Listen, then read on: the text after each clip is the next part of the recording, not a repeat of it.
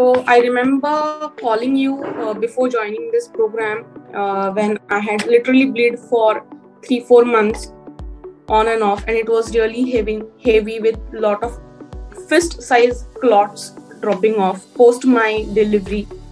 And uh, I remember visiting gynecologist and she telling me अभी तुझे biopsy करनी पड़ेगी। And that's cad me the part because my mother just detected with cancer then I remember calling you cryingly कि अभी क्या होगा? So but after joining this program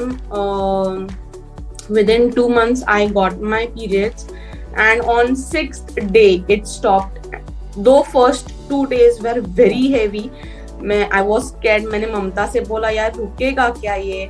बोली कि हाँ रुकेगा don't worry see till eight day then you can visit Manisha ma'am but उतना time नहीं लगा. Like it stopped on the six day so this was the main reason. And i had uh, i still have but the area of the darkness on the neck has reduced.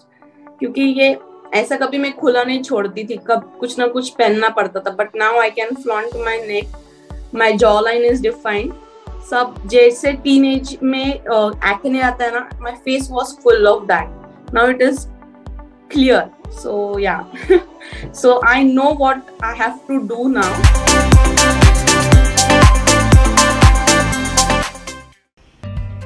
Don't forget to like this video and subscribe for more updates.